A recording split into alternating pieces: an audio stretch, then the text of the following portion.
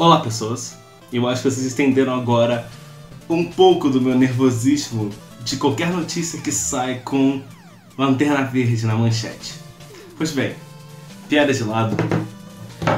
A DC anunciou agora um novo selo, digamos, né? Ano passado anunciaram Black Label, esse ano estão anunciando DC Zoom. E uma das primeiras revistas desse selo se chama Green Lantern Legacy traduziu em bom português como Lanterna Verde Legado. Bom, é, o roteiro é da Min Lee e a arte da Angie Tong. Bom, do que se trata essa revista? Ela se passa numa outra terra, tá? Não é no universo regular. E do que se trata? Bom, é sobre um jovem chamado Taifan, de 13 anos, que é japonês ou chinês. Foi mal, não anotei esse detalhe na notícia. Mas então, esse moleque, ele tá revirando as coisas da avó dele quando ele acha um anel de Jade. Acontece que quando ele acha esse anel, ele começa a descobrir os segredos, os segredos da tropa e sobre a avó e tudo mais. E é basicamente sobre isso a revista, tá? A capa já saiu, pode, você pode ver aí. E. Bom. Esse selo, né, desse Zoom, é voltado para um público mais jovem, né? É voltado para adolescentezinhos, pré-adolescentes, essa, fase, essa faixa de público. Então, não me surpreendi quando eu li essa sinopse, né? Apesar de que eu tenho umas críticas muito muito pertinentes sobre o que pode ser essa revista. Óbvio que ela não saiu, né? Não tem nem previsão de sair, só anunciaram. Ou tem previsão se tiver tá aparecendo na tela, mas sem nem ideia de quando vai sair no Brasil. Mas o que eu tenho a dizer sobre essa, essa essa notícia, essa revista? Bom, primeiramente que pela sinopse eu achei ela bem. insosso, né? Vai ser muito esses filminhos estadunidenses e tal. A primeira coisa que me veio na cabeça quando eu pensei nesse, nessa sinopse é que ia ser uma aventura tipo Homem-Aranha de Volta ao Lar, sabe? Metade na, escola, metade agindo como herói, com amiguinhos e não sei o que e tudo mais. Foi exatamente isso que me veio à cabeça. Agora, por que eu tenho críticas já com essa história. Porque, vamos lá, é, muita gente não conhece a mitologia, por assim dizer, dos Lanternas Verdes. Não sei porquê, mas o pessoal deveria conhecer mais o Verdão. O ponto é que Lanterna Verde não é só o Hal Jordan no maravilhoso. Existem milhares de Lanternas Verdes. Uma tropa inteira. E não só Lanternas Verdes, Lanternas Vermelhos, Índigos, Azuis e tudo mais. A parada é que existe apesar do Hal Jordan e os terráqueos sempre quebrarem as regras, existem regras na tropa. E eu acredito que tem um regulamento para você simplesmente largar o anel, né? Então, suponhamos que a avó desse moleque tenha sido uma lanterna verde. Se o anel estava largando uma das coisas dela, quer dizer que já faz anos. Podemos dizer que, por esse moleque não saber que a avó dele era uma lanterna verde, podemos dizer que há 13 anos que ela não atua como lanterna verde. Ou seja, ela abandonou o serviço na tropa. Óbvio que a tropa ainda pode ter sido extinta, pode ter sido desmantelado por motivos. Mas, cara, eu acho muito difícil porque realmente são muitos lanternas. E sempre que um morre vai para outra pessoa, então meio que não faz muito sentido esse negócio da, da tropa ter sido extinta, né? A não ser que tenha uma desculpa muito esfarrapada. Mas o negócio é que um lanterna abandonasse um posto, cara, os guardiões ou outros lanternas vão cobrar a pessoa. Então não faz sentido uma, uma lanterna abandonar assim o posto de serviço dela. Um instantinho aí antes de continuarmos.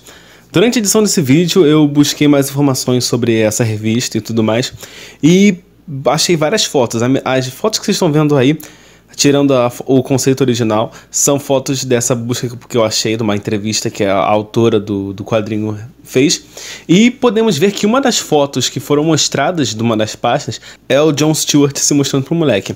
O que dá a entender que, um, a tropa não foi extinta e que provavelmente vai ser o John Stewart que vai cobrar ela esse desaparecimento, alguma coisa assim do tipo. Então, bom, essa revista é ainda mais confusa, né, pra mim. Então Hal Jordan não seria mais o primeiro lanterna humano. Realmente, ao que parece, para esse moleque pegar o anel da avó e não saber que é dos Lanternas Verdes, né? Tanto que fala que é um anel de Jade, pode até ser que seja como o super-homem chinês, né? O novo super-homem. Que ele, a princípio, não sabia quem era o super-homem e depois descobriu.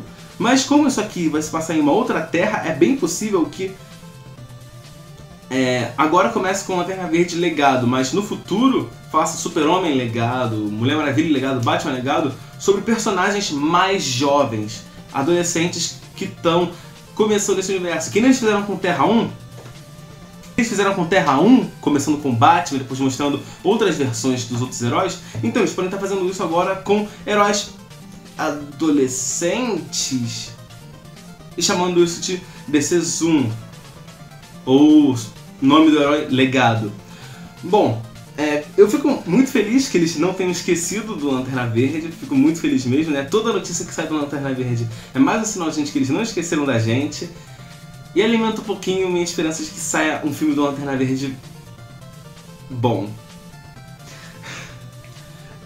O negócio é que eu. A primeira impressão que eu tive dessa notícia lendo ela é isso que eu falei pra vocês, né?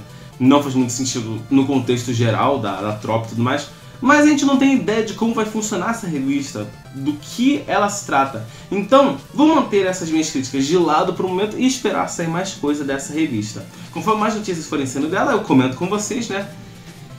E quando, também quando eu vi que ia ser um japonês, ou chinês, desculpa, eu não tô realmente falando que são iguais, é só que eu realmente não li na, na notícia o, a nacionalidade do moleque. Então vamos dizer, um lanterna asiático.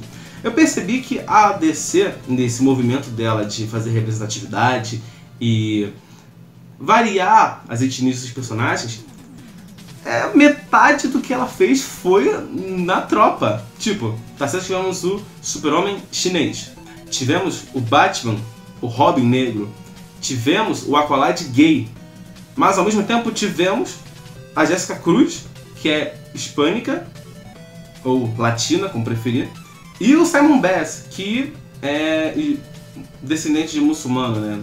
Ele, ele é muçulmano e descendente de, acho que paquistanês ou alguma coisa assim. Aí comecei a reparar, né, que há muito tempo um dos primeiros ruivos da DC foi o Guy Gardner. E um dos primeiros heróis negros foi o John Stewart.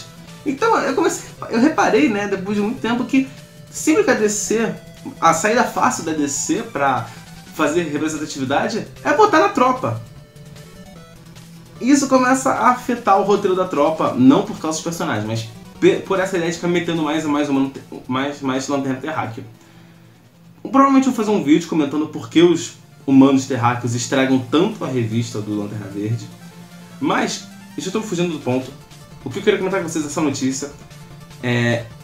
Vamos esperar sair mais coisa dessa revista para ver no que vai dar, né? O que esperar dessa revista. E esperar pelo melhor sempre do meu super favorito, né? Então, vejo vocês no próximo vídeo e falou!